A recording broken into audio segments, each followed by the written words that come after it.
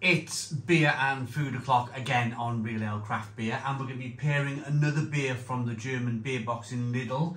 It's the £25 for 10 beers. That makes it £2.50 a bottle. I think it's fantastic value for money. We've turned the grill on today because I'm going to do a bit of a beer and food pairing for you. I am always out there to challenge myself really. If it was just me personally, like not pushing myself, I would eat pizza every day, or I would eat chips every day, or I would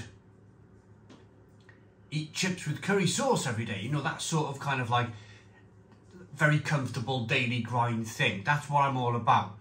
So I really like to push the boundaries of, of, of kind of like what I will eat and what I will learn because I think the whole of life is one big learning experience, isn't it? So what I'm trying to say here is, if it wasn't for the beer, and if it wasn't for this beer review, I probably wouldn't have bought these sausages. These are Käsekrainer Emmental cheese stuffed smoked pork and beef sausages, 340 grams. I've done my, oh it says here, um, Emmental cheese stuffed cooked and smoked pork and beef sausage. So they're already cooked, but I had to do a little bit of Googling because I didn't read the cook bit on the back. I've got the grill out. I'm going to put them on the grill. I fancy them warm here today. So I've never had anything like this before. Uh, a cheese kind of... Oh, look. Look at this. We're going to whack that on the grill. And today's beer is Hohenthanner Schloss Brewery Fest beer. So everybody's having a good time. There's a, a circus there in the background. The beer is 5.6% ABV. It will hopefully, being a Märzen, be slightly darker. They'll have a slightly darker malts in there. So I, I haven't really got to cook this for long, really. I suppose I'm going to give it a damn good cooking though. So what I'm going to do, I'm going to leave this now for maybe 10, 15 minutes. I'll turn it and I'll come back and we'll pour the beer and we'll eat some of this sausage. Right, this sausage is nearly done. We're actually losing a little bit of the cheese. You can just see the cheese oozing out the side of the sausage. So, I'm gonna give it one more turn. And it's only it's only really cooking the top and tail that the sausage is a bit like a horseshoe. Uh, while that's cooking the top and tail, let's get the beer out into a glass and see what we get. So, I have had beers from this brewery before, albeit not for a few years. Certainly not had their Fest beer. But yeah, it's this is pouring perfectly, or, or should I say the colour is looking perfect. It's looking like I was an, I was imagining it was gonna look like. It's that kind of lovely, darker amber coloured beer. We got a two finger, slightly off white head, good levels of carbonation. As the beer rolls up the glass there, the carbonation rolls up the glass. It doesn't look to be a bottle conditioned beers. A lot of the German lagers, of course being lager, it's not to be bottle conditioned. This beer, 5.6% ABV, £2.50 a bottle in Lidl. But you've got to find the box. The box is, I understand that they've restocked the box in some of the stores. So if you can get it, go and get it. It's really good value for money.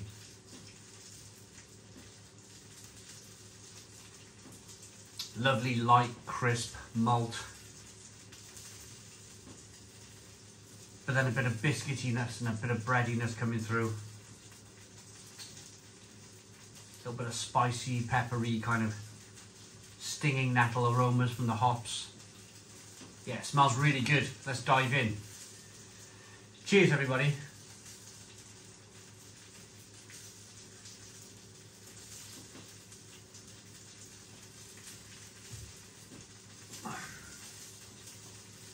Oh, that is fantastic.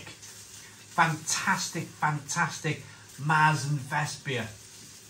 Beautifully balanced between that lovely biscuit malt flavour. It's got a fantastic mouthfeel.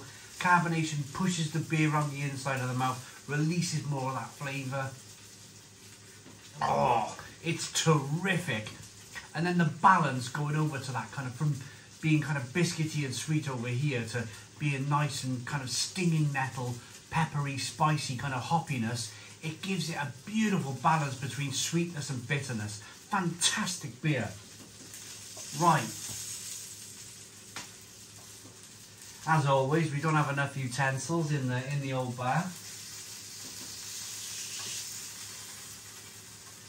Look at that, you can see, you can see the cheese dripping out of the side of this sausage.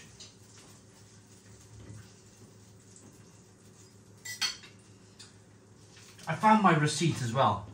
So the sausage cost, uh, Käsekrainer sausage was £2.49. There's all the bits of kind of lovely cheese that we're going to add to the sausage there. We don't want to lose any of that. Okay, so that can get switched off.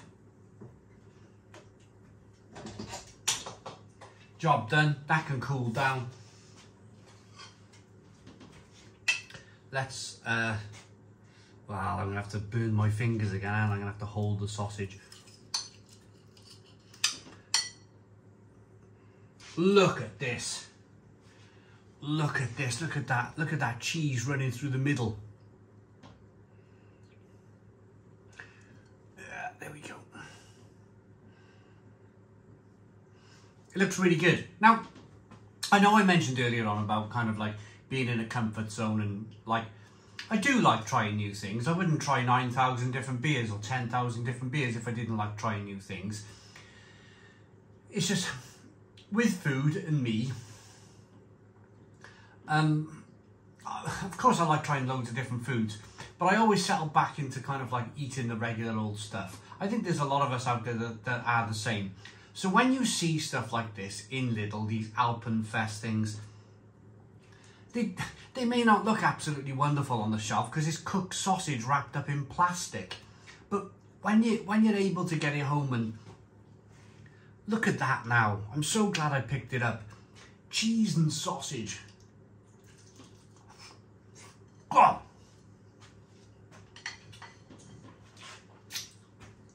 Oh, that is bliss. Mmm. So it's that that thick skin on the sausage, like one of those traditional German frankfurters. Mmm. But the meat's really good. The pork's really good, the beef's really good. It's lovely and salty. The cheese, the Emmental cheese bursts out and it kind of burst out all over my lips. It was a bit hot. But there's lots of cheese in the sausage. It's it's incredibly tasty. Look at this. Look at this cheese. The dog's going nuts down here. I can hear him kind of doing all sorts of weird things with his mouth. He's desperate for some.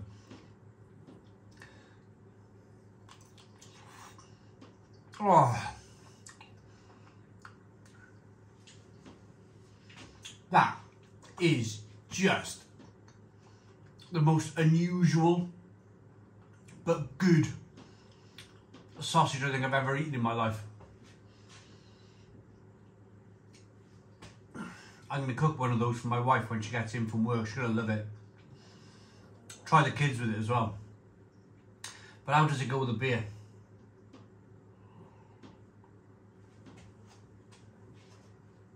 I think we already know the answer, don't we?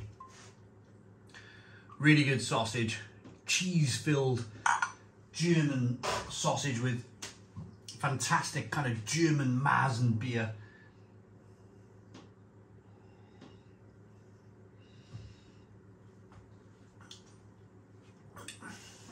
Makes me want to go and pack my suitcase. Bye, Wales. I'm off to Germany forever. I'm not coming back. um, just tremendous. The quality. I just love the. I mean, you have your own ideas in your mind how lifestyles are, don't you? With with kind of like German people, and my idea of like German family, German people in general, is that they just enjoy a lot of the food. Is being it's almost like it's been kind of built around beer. Everything seems to fit with beer. The sausages fit really well with the beer. The beer's fantastic to begin with. It's biscuity and bready and lovely. You just want to drink pint after pint after pint of it. it it's like no nonsense. You know, you, so you get other countries, don't you? Other cultures. Let's let's look at France and Italy. France and Italy, I don't think I'd want to live there because it's all about eating a ton of food and at least that's what my Italian family tell me. It's all about meal after meal and literally like tapas in it all kind of night long type of thing and uh, and not really enjoying a few beers. Whereas whereas German culture fits really well with my culture, and that is I want a few beers and I want to eat cheese sausage. And it's easy. It's easy it's simple, no nonsense, but it does the job. It does the job. It it's like the ultimate beer snack country. Pretzels, sausage. Oh, them dumplings we did the other week. Mm. I'm not normally a, a massive fan of this kind of German style sausage. I don't normally like the thick casing, the crunchy casing, but I think it's the cheese. I just think it's the cheese that's just made this work. It's just dripping with this Emmental cheese. Let's see if the dog likes it.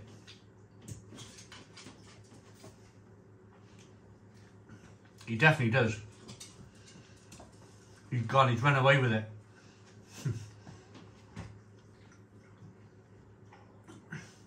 that is one of the finest sausages I've ever eaten in my life. He's already back for more. The beer, the beer is incredible.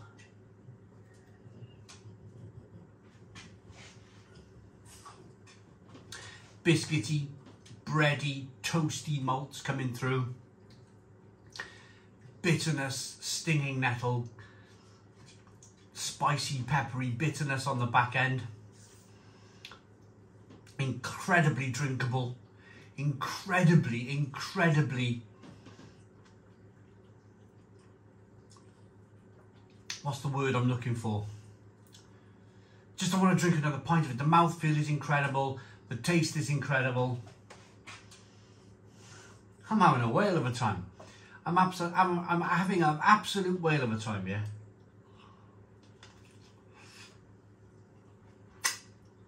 I think I just exploded cheese all over my mouth.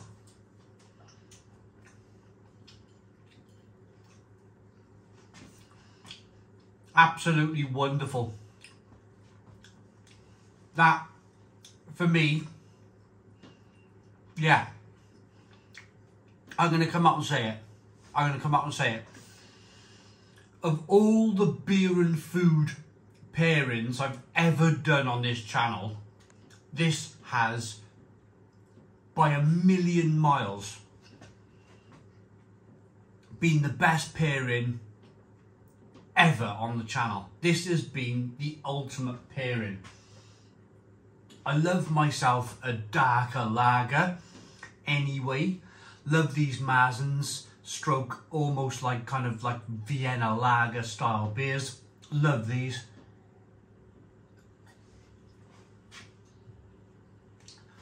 That sausage, put it off. I put it off. I, I left it in the fridge door. I was like, oh, they look a bit dodgy. Put it off, put it off, put it off. I thought, right, now's the time. We're running out of beer. We're running out of that 10 box pack. I'm going to have to do it. I bit the bullet, got on with it, and it turns out they are just the most amazing things in the world. Um, so rating then, the Hohenthanner Schlossberry Märzen Fest beer is terrific. Absolutely terrific. It really is. Um, I like that enough to give it a Stone the Crows 9 out of 10. 9 out of 10 from Real Craft Beer. But this sausage, this sausage is just the bee's knees. Just, just, just absolutely terrific. The best sausage I've ever eaten in my life. 10 out of 10. 10 out of 10 for the sausage. I hope you liked the video. Please put your comments in the comments box. Subscribe to our daily beer and food reviews. Give us a big fat thumbs up. Boom. Cheers.